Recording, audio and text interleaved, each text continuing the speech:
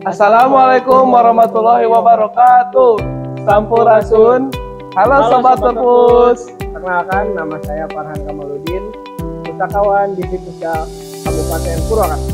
Dan saya Son Herdiansyah, Duta Baca Jawa Barat tahun 2020. Halo Sobat Perpus, seiring dengan perkembangan teknologi, informasi, dan ilmu pengetahuan yang berkembang dengan pesat, berbagai macam aktivitas mudah dilalui melalui dunia digital. Salah satu aktivitasnya yaitu membaca buku dan meminjam buku. Dengan perkembangan teknologi, kita dipermudah dengan adanya aplikasi untuk membaca dan meminjam buku yaitu melalui perpustakaan digital. Sobat perpus, perpustakaan Purwakarta sendiri punya lima program unggulan loh. Salah satunya berkaitan dengan perkembangan teknologi, yaitu Marangi. Hah? Marangi? Sate Marangi dong. Eits, jangan salah. Marangi di sini yaitu maca rame-rame dina digital. Marangi merupakan salah satu layanan perpustakaan digital yang aplikasinya bisa didownload di Google Play Store dan App Store yaitu Everpus Purwakarta. Nah, Everpus Purwakarta sendiri adalah aplikasi perpustakaan digital milik Perpusda Purwakarta.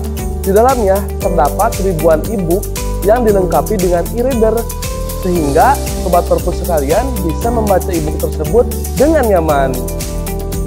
Bagaimana cara menggunakannya? Yuk ikuti langkah-langkah berikut ini. Pertama, Sobat Perpus wajib mendaftarkan diri terlebih dahulu di alamat bit.ly garis miring daftar underscore PWK. Isi data diri dengan lengkap mulai dari email, kemudian nama lengkap, jenis kelamin, status, kemudian alamat rumah diisi dengan lengkap, dan terakhir adalah isi nomor HP.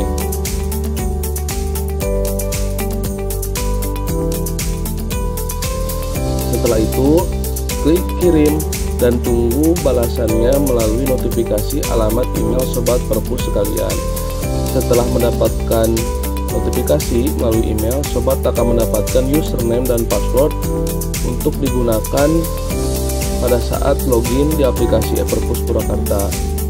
Lalu, sobat Everpus mendownload aplikasi Everpus Purwakarta tersebut di Google Play Store ataupun App Store yaitu Everpus Purwakarta. Nah, ini. Lalu klik install. Kita tunggu sampai proses unduhnya selesai.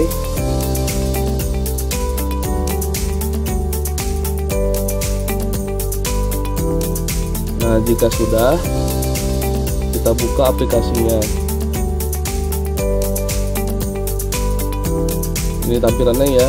Berikut adalah syarat dan ketentuan yang wajib sobat Everpus uh, baca. Lalu masukkan alamat email ataupun username serta kata sandi yang didapatkan melalui email sobat perpus kalian.